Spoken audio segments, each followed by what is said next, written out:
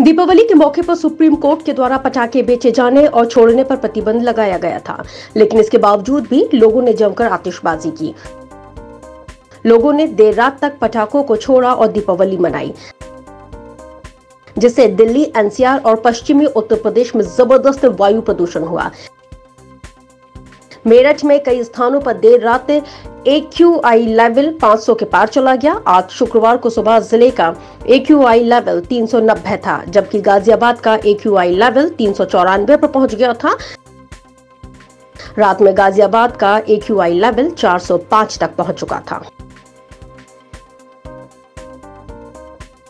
AQI level अगर 400 के ऊपर चला जाए तो इसका मतलब सांस की बीमारी वालों के लिए ये बेहद खतरनाक होता है। कोरोना काल में ये और भी ज़्यादा डराने वाला था। मेरठ ही नहीं, दिल्ली और पूरे एनसीआर की ही ऐसी ही स्थिति थी। नोएडा, गाजियाबाद और गुरुग्राम हर तरफ़ रात भर खूब पटाखे चलाए गए और पूरा इलाका धुआँ धुआँ हो गया। लोगों ने खुलेआम एनजीटी के नियमों की धज्जियाँ उड़ाई। प्रतिबंध के बावजूद भी देर रात तक लोगों ने पटाखे चलाए हैं। पटाखे छोड़ने की वजह से कई इलाकों का एयर क्वालिटी इंडेक्स घातक स्तर पर पहुँच रहा है।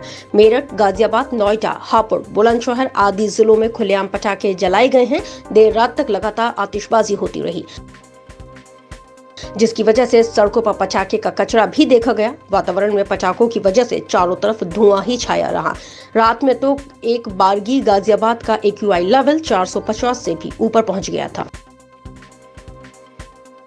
हालाँकि एनजीटी ने भी पटाखों के बेचने और जलाने पर सख्ती की थी, बावजूद इसके भी जमकर आतिशबाजी हुई। एनजीटी ने नियम तोड़ने वालों पर एक लाख रुपए तक के जुर्माने का भी प्रावधान किया था, लेकिन दीपावली पर पश्चिम वासियों और एनसीआर के लोगों ने नियमों को ताक पर रखकर जमकर पटाखे जलाए।